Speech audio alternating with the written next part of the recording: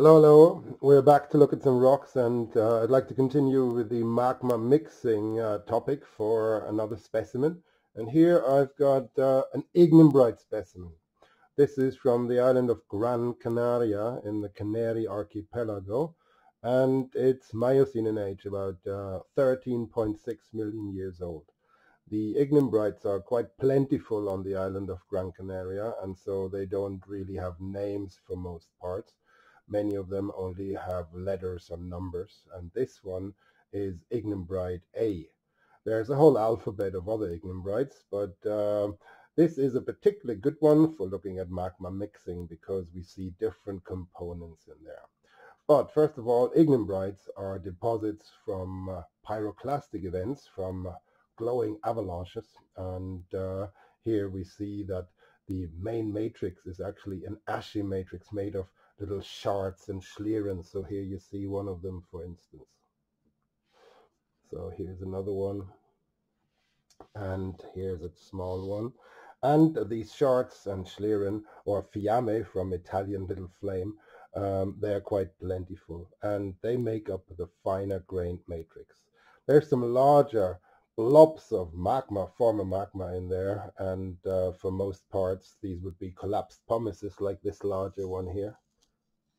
This may itself have some mixing features, some smaller um, portions of another magma in it, but uh, this was likely a very vesicular pumice at the time of deposition, but it was warm and it got flattened and then it welded.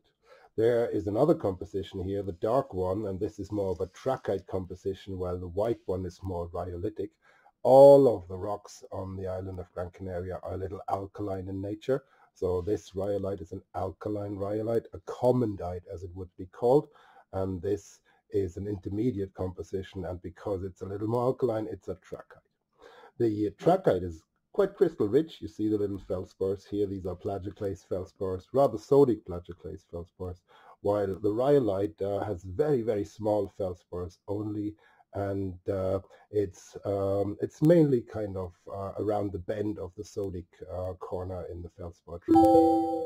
The fine-grained material here is rather gray, and up here it gets a little darker. The deposit is about 10 meters thick, and at the bottom it's rather light in color, and at the top it's rather kind of reddish dark gray, and the uh, general assumption is that more and more material from the lower portions of the magma chamber got entrained into the eruption, producing a composite deposit, but this time it's composite in a vertical way.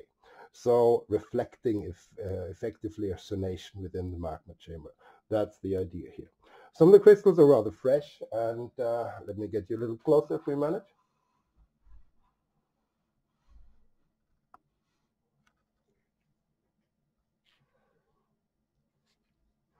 So here you see uh, some of the feldspars here. They're rather fresh but resorbed.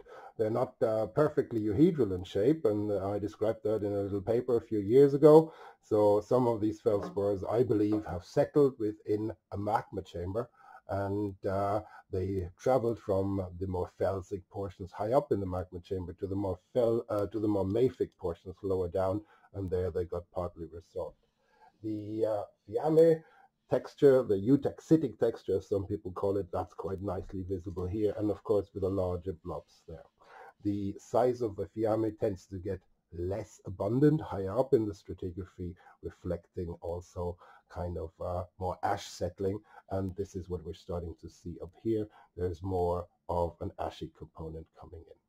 So this is also a form of magma mixing, likely representing uh, different portions of magma in a zoned magma reservoir that got drawn into the same eruptive conduit and therefore got deposited in a variably mixed condition, but in a hot state. And this was then compacted because the deposit is several meters thick, and then it was welded because it was still plastic at the time of deposition.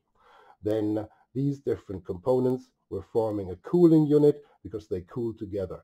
Whether they're genetically belonging together, that could be discussed, but certainly they were together in the same magma chamber for considerable time, allowing for exchange of crystals. Thank you for your attention, and uh, I hope to see you back very soon. Bye-bye.